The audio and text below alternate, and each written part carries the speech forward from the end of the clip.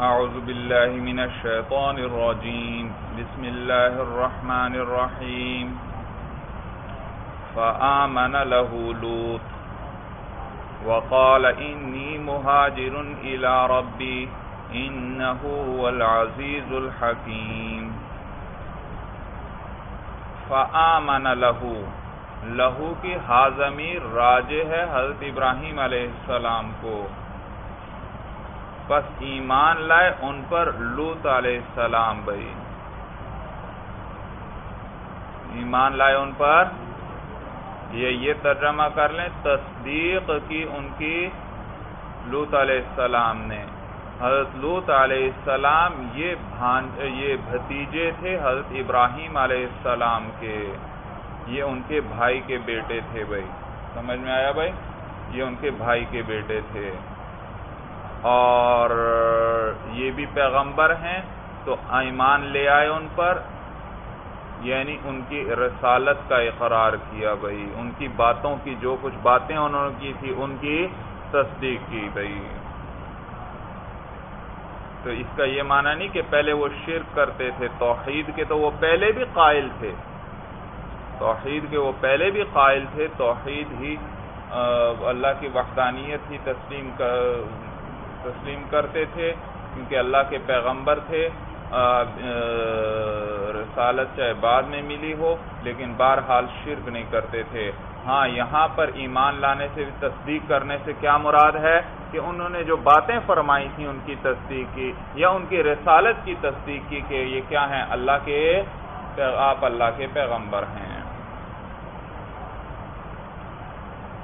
فآمن له لوت تو ایمان لائے ان پر حضرت لوت علیہ السلام، یا یوں کر لیں ترجمہ، پس تصدیق کی حضرت ابراہیم علیہ السلام کی حضرت لوت علیہ السلام نے۔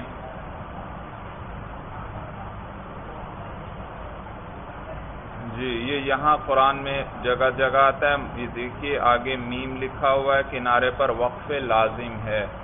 تو ایسا مقام جہاں آئے، وہاں وقف ضرور کرنا ہے، آگے ساتھ ملا کر نہیں پڑھنا، کیونکہ معنی بدل جاتے ہیں بھائی، سمجھ میں آیا؟ کچھ کا کچھ ہو جائے معنی بھائی۔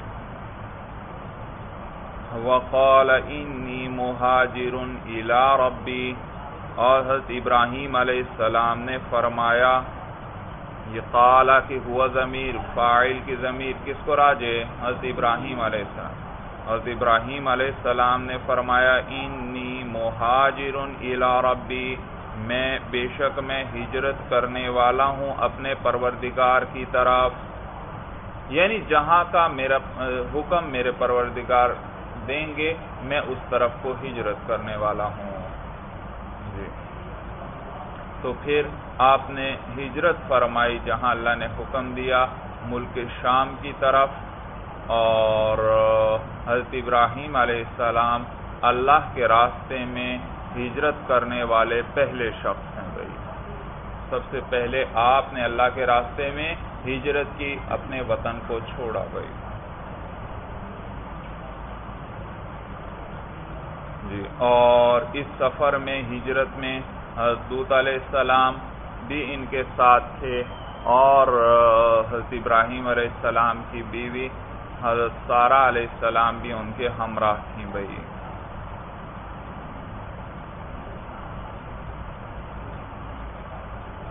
وقال انی مہاجر الى ربی۔ حضرت ابراہیم علیہ السلام نے فرمایا کہ بے شک میں ہجرت کرنے والا ہوں اپنے پروردگار کی طرف یعنی جہاں کا پر میرا پروردگار مجھے حکم دیں گے میں اس طرف ہجرت کرنے والا ہوں۔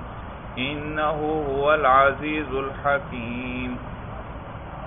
بے شک وہ زبردست ہے، حکمت والے ہیں۔ اللہ بے شک وہ میرے پروردگار جو ہیں، وہ حکمت، زبردست اور زبردست ہیں، حکمت والے ہیں۔ تو حضرت ابراہیم علیہ السلام نے سب سے پہلے ہجرت کی بھائی حضرت ابراہیم علیہ السلام کی نے بہت سی چیزیں کہ میں سب سے پہلے کرنے والے ہیں۔ مثلا خطبے کے لیے یہ ممبر ہے، تو یہ ممبر پر سب سے پہلے ممبر کی ابتدا اور اس پر واس کرنے کی ابتدا حضرت ابراہیم علیہ السلام نے کی۔ اسی طرح یہ لاٹھی رکھنا یہ سنت ہے انبیاء کی۔ یہ ساتھ بھائی سمجھ میں آیا؟ آج کل یہاں کے علماء میں تو آپ کو تقریباً مصروف ہی نظر آئے گی۔ حالانکہ یہ سنت ہے مولانا، علماء کو سنت پر، اس سنت پر عمل کرنا چاہیے۔ تو یہ بھی سب سے پہلے حضرت ابراہیم علیہ السلام نے شروع کی۔ اور اسی طرح یہ مونچھیں، مونچھوں کو کتروانا چھوٹا کرنا، اس کی ابتدا بھی حضرت ابراہیم علیہ السلام نے کی۔ اور اسی طرح سب سے پہلے بال جو سفید ہوئے، وہ حضرت ابراہیم علیہ السلام کے ہوئے۔ اس سے پہلے کسی کے بال کبھی سفید نہیں ہوتے تھے۔ تو بعض اوقات ایسا ہوتا کہ والد ہیں اور بیٹا ہیں، تو پتہ ہی نہیں چلتا تھا کون والد ہیں اور کون بیٹا ہے، کیونکہ دونوں کے بال سیاہ ہوتے تھے۔ تو حضرت ابراہیم علیہ السلام کے بال سب سے پہلے سفید ہوئے، تو جب کچھ سفیدی بالوں کے اندر دیکھی، پہلی مرتبہ تو حیران ہوئے اور اللہ سے سوال کیا کہ اللہ یہ کیا ہے؟ تو اللہ نے فرمایا کہ یہ وقار ہے، وقار۔ اللہ تعالیٰ نے کیا فرمایا؟ یہ وقار ہے۔ تو حضرت ابراہیم علیہ السلام نے پھر اس پر دعا کی، رب زدنی وقارا۔ اے اللہ، میرے وقار کو، میری عزت کو اور بڑھا دیجیے وَوَهَبْنَا لَهُ إِسْحَاقَ وَيَعْقُوبَ وَجَعَلْنَا فِي ذُرِّيَّتِهِ النُّبُوَّةَ وَالْكِتَابَ وَآتَيْنَاهُ أَجْرَهُ فِي الدُّنْيَا وَإِنَّهُ فِي الْآخِرَةِ لَمِنَ الصَّالِحِينَ. وَوَهَبْنَا لَهُ اور عطا کیے ہم نے ابراہیم علیہ السلام کو، اسحاق علیہ السلام۔ یہ ان کے بیٹے ہیں بھائی۔ ایک بیٹے حضرت اسماعیل علیہ السلام اور پھر یہ دوسرے بیٹے حضرت اسحاق علیہ السلام، یہ اس وقت عطا فرمائے جبکہ حضرت ابراہیم علیہ السلام بوڑھے ہو چکے تھے اور اسی طرح ان کی بیوی جو تھیں سارا وہ بھی بوڑھی ہو چکی تھیں اور بانج ہو چکی تھیں۔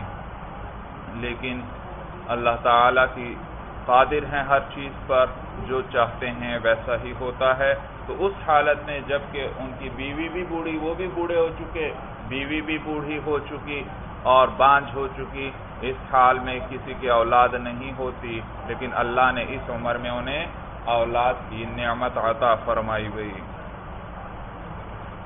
اور اولاد بھی حضرت اسحاق علیہ السلام جو اللہ کے پیغمبر تھے۔ تو ہم نے عطا کی ابراہیم علیہ السلام کو، اسحاق و یعقوب اور یعقوب علیہ السلام۔ یہ بیٹے ہیں حضرت اسحاق علیہ السلام کے یعنی حضرت ابراہیم علیہ السلام کے پوتے ہوئے بھائی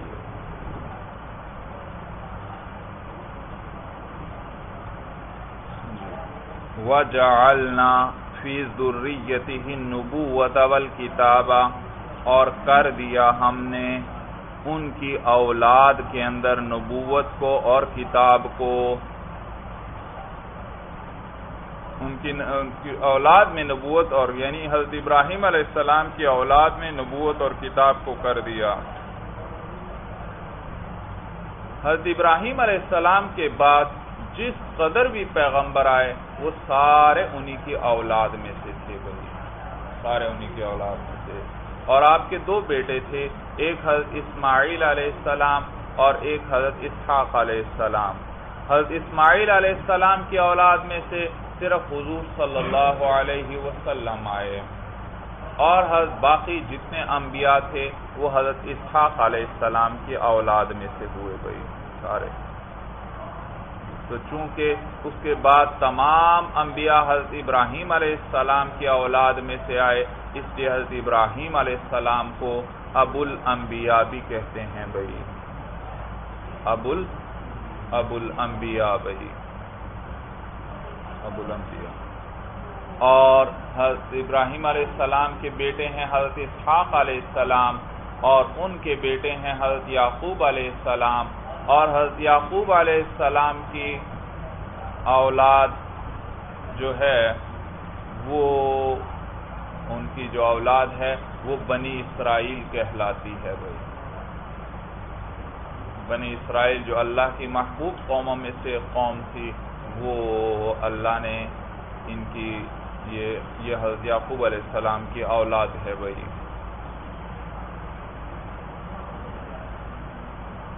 علماء مفسرین لکھتے ہیں کہ حضرت اسما کے بعد کے تمام پیغمبر حضرت ابراہیم علیہ السلام کی اولاد میں آئے، اللہ خود فرما رہے ہیں، وَجَعَلْنَا فِي ذُرِّيَّتِهِ النُّبُوَّةَ وَالْكِتَابَ اور حضرت ابراہیم علیہ السلام کی اولاد میں ہم نے رکھ دی نبوت اور کتاب بھئی تورات،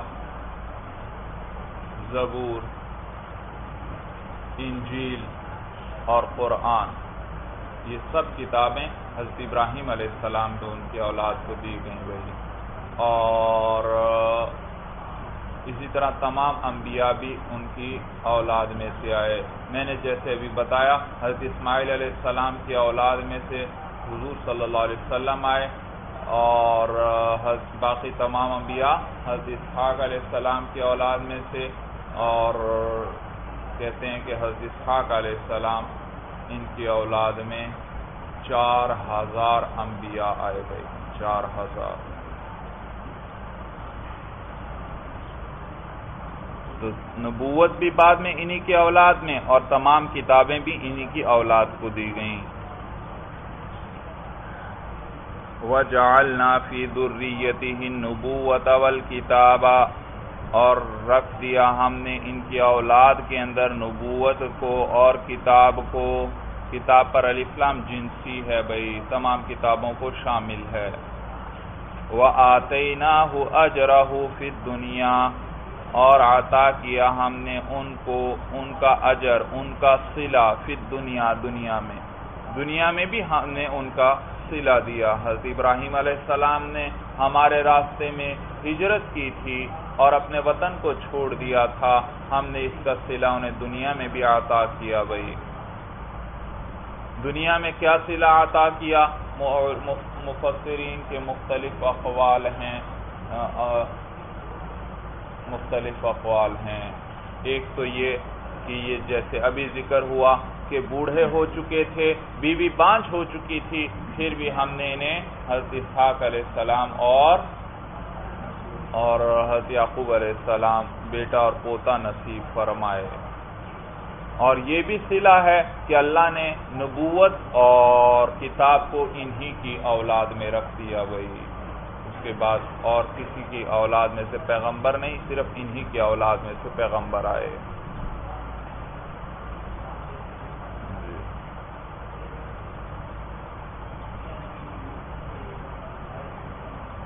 اور یہ صلہ کہ سب کے لیے ان کو، تمام دینوں کے لیے ان کو قابل احترام بنا دیا گئی تمام دینوں والے اپنی نسبت، اپنے دین کی نسبت حضرت ابراہیم علیہ السلام کی طرف کرتے ہیں۔ چاہے مسلمان ہوں، چاہے عیسائی ہوں، چاہے یہودی ہوں۔ سب یہی کہتے ہیں کہ ہم کس کے دین پر ہیں؟ حضرت ابراہیم علیہ السلام کے دین پر۔ بھائی، بات سمجھ میں آئی؟ بنیادی باتیں وہی ہیں بھائی اسلام میں بھی، جن کی دعوت حضرت ابراہیم علیہ السلام دیا کرتے تھے۔ اللہ کی وحدانیت ہے اور پیغمبروں کا ماننا اور آخرت کا قائم ہونا وغیرہ۔ ہاں احکام مختلف ہیں ہماری اپنی وسلم کی شریعت کے، ان کے شریعت کے۔ اور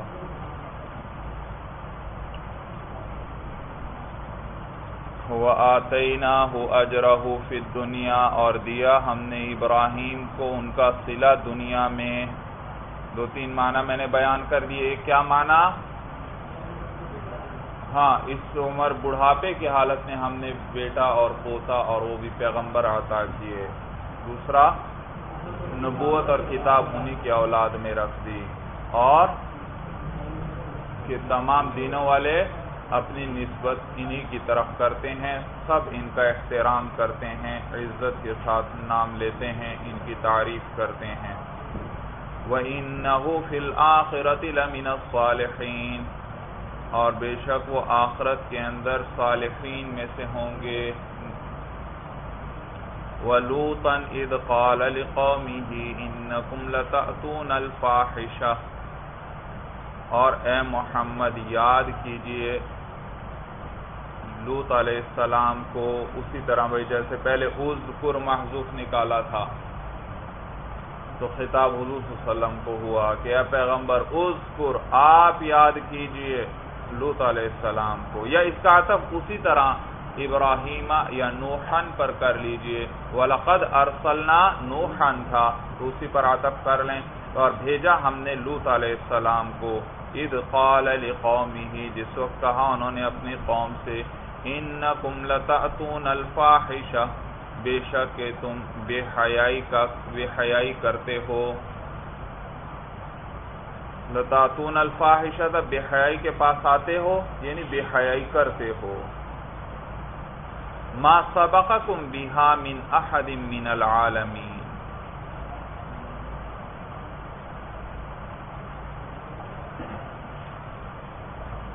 تو تم بے حیائی کرتے ہو بھئی، یہ لواتت کا فیل حضرت علیہ السلام کی قوم کی طرف منصوب ہے کہ یہ مردوں کے ساتھ بدفعلی کیا کرتے تھے۔ چنانچہ وہ اپنی قوم کیسے کیا فرما رہے ہیں کہ انکم لتاتون الفاحشتا تم بے حیائی کرتے ہو۔ ما سبقکم بہا۔ بہا کی ہا ضمیر فاحشہ کو راجے ہے۔ ما سبقکم، نہیں سبقت لے گیا تم پر، تم سے۔ بہا اس بے حیائی میں۔ من احدن، کوئی ایک بھی، من العالمین، جہان والوں میں سے۔ نہیں آگے ہوا تم سے، اس بے حیائی میں، اس بے حیائی پر کوئی ایک بھی جہان والوں میں سے۔ ترجمہ سمجھ میں آ رہا ہے؟ نہیں آگے ہوا کم کم تم سے، تم پر بہا اس اس بے حیائی کے ساتھ۔ تو کوئی ایک بھی سبقت نہیں لے گیا تم سے، اس بے حیائی پر من احد ہاں من احد آخر میں آ رہا ہے، اس کو ترجمے میں بھی ذرا مؤخر کر دو، پھر بعد میں با محاورہ آپ الگ کر سکتے ہیں۔ ما سبقکم، نہیں سبقت لے گیا تم سے بہا، اس بے حیائی پر من احدین کوئی ایک بھی من العالمین جہان والوں میں سے۔ یعنی تم سے پہلے کسی نے بے حیائی کا یہ کام نہیں کیا، تم نے اس کی بنیاد رکھی ہے۔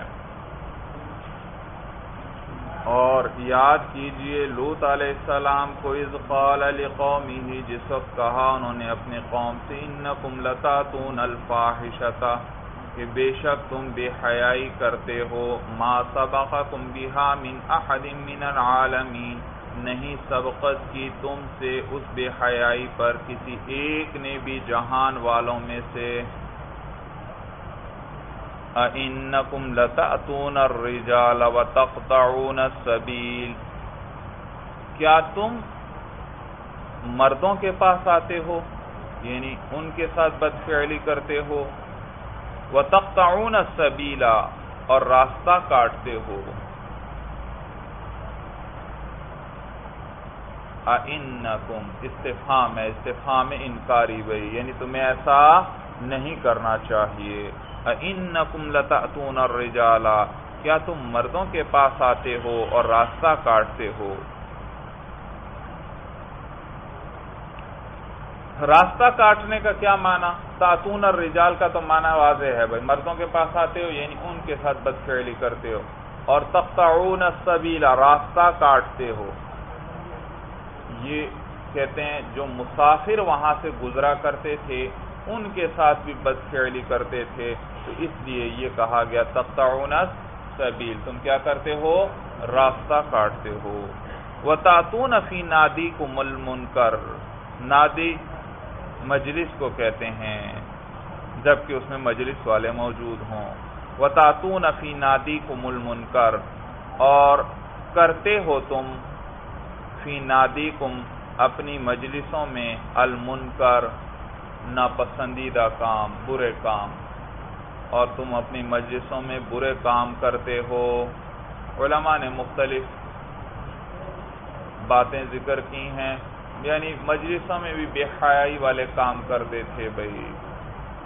واضح نے لکھا کہ یہ مجلسوں میں ایک دوسرے کے سامنے بدفعلی کرتے تھے۔ بعضوں نے لکھا کہ مجلسوں میں بے حیائی ناپسندیدہ کام کرتے تھے۔ ایک دوسرے پر تھوکتے تھے بھائی۔ تھوکتے تھے۔ یا اسی طرح کنکریاں وغیرہ اپنے پاس رکھی ہوتی اور کوئی مسافر وغیرہ گزر رہا ہوتا تو اسے کنکریاں مارتے تھے بھائی۔ اور تم کرتے ہو فی نادی کم المنکر، اپنی اپنی مجلسوں میں منکر، برائی، برے کام۔ فما کان جواب قومی ہی بس نہیں تھا، ان کی قوم کا کوئی جواب اللہ ان قالو، مگر یہ کہنا، مگر یہ کہ وہ انہوں نے کہا اتنا بعذاب اللہ، لے آئیں آپ اللہ کا عذاب، ان کنت من الصادقین۔ اگر آپ ہیں سچوں میں سے، اگر آپ سچوں میں سے ہیں تو اللہ کا عذاب لے آئیے۔ تو اور کوئی ان کی باتوں کا جواب نہیں ہوتا تھا، ان کے پاس جواب تھا ہی نہیں بھائی۔ سمجھ میں آیا بھائی؟ یہ سب عیوب ان میں موجود تھے، تو اور کوئی جواب تو ان کے پاس تھا نہیں۔ بس ہنسی مذاق کرتے اور کہتے کہ ہاں اگر آپ سچے ہیں، واقعی اللہ کے پیغمبر ہیں، تو اللہ کا عذاب لے آؤ۔ قال رب انصرنی علی القوم المفسدین۔ حضرت علیہ السلام نے فرمایا ربی اے میرے پروردگار ربی یا حذف یا موجود تھی یہاں پر اور اس کو کلام عرب میں پھر حذف کر لیا جاتا ہے۔ تو یہ با کا کسرہ اس پر دلالت کر رہا ہے۔ قال ربی، اے میرے پروردگار انصرنی، میری مدد فرمائیے علی القوم المفسدین، فساد کرنے والے لوگوں پر، فساد کرنے والے لوگوں کے مقابلے میں میری مدد فرمائیے۔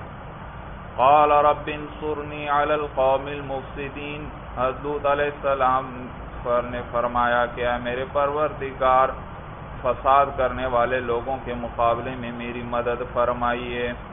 ولما جاءت رسلنا ابراہیم بالبشرا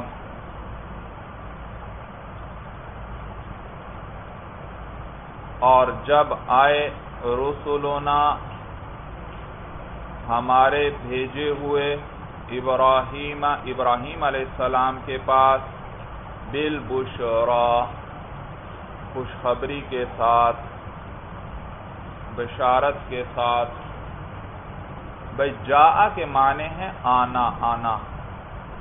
اور بعض تو یہ فعل لازم ہے۔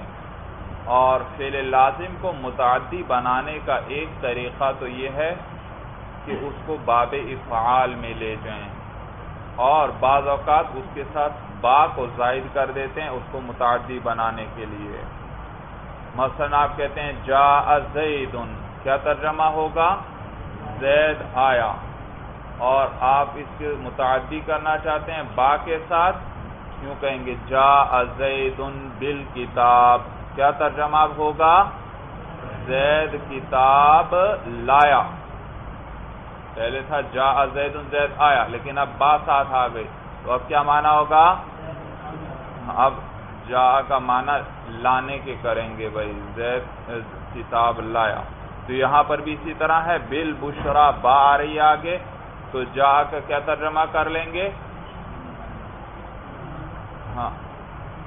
لانا۔ ولما جاءت، اور جب لائے رسولنا، ہمارے بھیجے ہوئے فرشتے اللہ نے بھیجے۔ ولما جاءت رسولنا، اور جب آئے ہمارے، جب لائے ہمارے بھیجے ہوئے فرشتے ابراہیم علیہ السلام کے پاس خوشخبری، جب ان کے پاس وہ خوشخبری لے کر آئے۔ قالو تو پر ان فرشتوں نے کہا، انا مہلکو اہل هذه القرية بے شک ہم ہلاک کرنے والے ہیں اس بستی والوں کو۔ اس، یہ جو بستی ہے، یہ جو حضرت علیہ السلام کی صدوم بستی تھی بھائی صدوم۔ سین دال و میم۔ جی تو یہ صدوم بستی تھی اور اس کی طرف اشارہ کیا کہ یہ بستی، یہ جو بستی ہے، اس بستی والوں کو ہم ہلاک کرنے والے ہیں۔ ان اہلہا کانو ظالمین، بے شک اس بستی والے ظلم کرنے والے ہیں یعنی کفر کرنے والے ہیں۔ قال ان فیہا لوتا حضرت ابراہیم علیہ السلام نے فرمایا، ان فیہا لوتا بے شک ان میں تو لوت علیہ السلام بھی ہیں۔ اے فرشتو، تم اس کو، بستی کو کیا کرنے جا رہے ہو؟ بستی والوں کو ہلاک کرنے جا رہے ہو؟ تو ان میں تو لوت علیہ السلام بھی ہیں۔ اچھا بھائی بل بشرا خوشخبری لے کر آئے۔ اور جب آئے ہمارے بھیجے، جب لائے ہمارے بھیجے ہوئے ابراہیم علیہ السلام کے پاس خوشخبری۔ بھائی خوشخبری وہی اسحاق علیہ السلام اور یعقوب علیہ السلام کی خوشخبری وہی کہ اللہ، اے ابراہیم، آپ کو اللہ ایک بیٹا اور ایک پوتا جو پیغمبر ہوں گے، وہ اللہ عطا فرمانے والے ہیں بھائی تو خوشخبری سے وہ مراد ہے۔ سمجھ میں آیا بھائی؟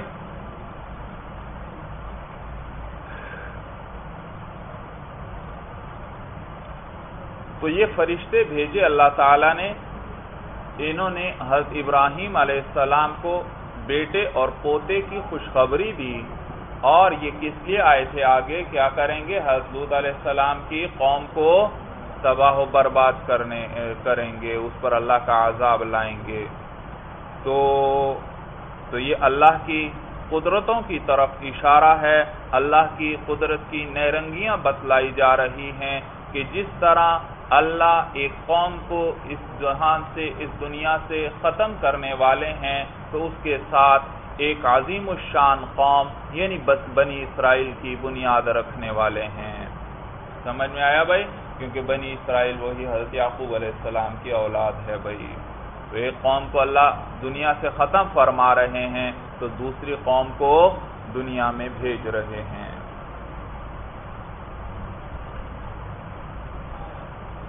تو حضرت ابراہیم علیہ السلام نے کہا کہ ان میں تو لوت علیہ السلام ہیں۔ کیا مانا بھائی؟ کیا یہ بات یہ بات تو فرشتوں کو پہلے سے معلوم تھی، پھر حضرت ابراہیم علیہ السلام کی یہ بات کہنے کا کیا مقصد ہے؟ بھائی، حضرت ابراہیم علیہ السلام کا مقصد یہ تھا کہ اگر ممکن ہو کوئی صورت ہو یا عذاب کسی طرح مؤخر ہو جائے، شاید یہ لوگ آگے چل کر ایمان لے آئیں بھائی۔ شاید آگے چل کر ایمان لے آئیں بھائی، اس لیے بات، یہ بات شروع کی بھائی کہ ان میں تو لوت علیہ السلام بھی ہیں، کیسے ان پر عذاب لا رہے ہو؟ یا مراد یہ تھا کہ تم لوگ عذاب لے کر آؤ گے تو حضرت علیہ السلام کے سامنے وہ وہیں پر ہوں گے تو وہ یقیناً عذاب کو دیکھ کر گھبرا جائیں گے۔ اگرچہ ان پر تو عذاب نہیں، ان کی تو وہ تو اللہ کے پیغمبر ہیں، ان کو تم نجات دے دو گے، لیکن ان کے سامنے تو عذاب آئے گا اور وہ انسان ہے تو یقیناً اس اللہ کے عذاب کو دیکھ کر گھبرائیں گے، ڈر جائیں گے۔ تو اس لیے یہ فرمایا، قال ان فیہا لوتا کہ بے شک ان میں تو لوت علیہ السلام ہیں۔ قالوا نحن اعلم بمن فیہا، فرشتوں نے کہا اللہ کے بھیجے ہوئے فرشتوں نے کہا، نحن اعلم بمن فیہا، ہم زیادہ جاننے والے ہیں ان کو جو اس بستی میں ہیں۔ ہمیں خوب معلوم ہے وہ لوگ جو اس بستی میں ہیں۔ ہمیں علم ہے کہ حضرت علیہ السلام وہاں ہیں۔ لَنُنَجِّيَنَّهُ البتہ ہم ضرور نجات دیں گے ان کو وَأَهْلَهُ اور ان کے گھر والوں کو۔ تو اہلہ کا عام ترجمہ تو یہی ہے، ان کے گھر والے۔ لیکن مفسرین کہتے ہیں بھائی کہ یہاں اس کا ترجمہ، اس سے مراد ان کا ان کا جو اتباع کرنے والے تھے یعنی مومنین جو حضرت علیہ السلام پر ایمان لائے تھے، تو وہ بھی ان کے اہل ہیں بھائی۔ ان کے، ان کی پیروی کرنے والے۔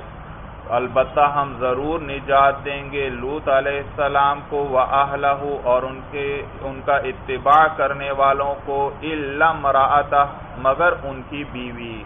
کانت من الغابرین۔ غابر کہتے ہیں باقی رہ جانے والا، مگر ان کی بیوی جو ہے باقی رہ جانے والی ہوگی عذاب میں یا بستی میں بھائی۔ مگر ان کی بیوی ہوگی۔ باقی رہ جانے والوں میں سے اب چونکہ یہاں شبہ پڑتا ہے، باقی رہنے کا تو مطلب بظاہر یوں لگتا ہے باقی ہلاک ہوں گے اور ان کی بیوی باقی رہ جائے گی۔ تو اس لیے ترجمہ کیا کر دیتے ہیں؟ پیچھے رہ جانے والوں میں۔ ان کی بیوی، تو ان کی بیوی پیچھے رہ جانے والوں میں سے نوت علیہ السلام اور ان کی پیروی کرنے والوں کو ہم نجات دیں گے، مگر ان کی بیوی پیچھے رہ جانے والوں میں سے ہوگی۔ چلیے بس المرام اللہ عالم حقیقت رسالہ